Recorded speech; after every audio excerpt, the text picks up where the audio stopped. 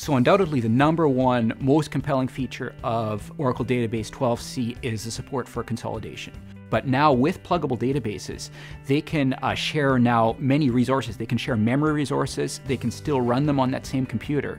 And they can make the management easier because it is still a single database instance. Pluggable databases is a step forward in that. So now that's going to give us more con um, control over our schemas, over our application to be able to isolate a little bit more.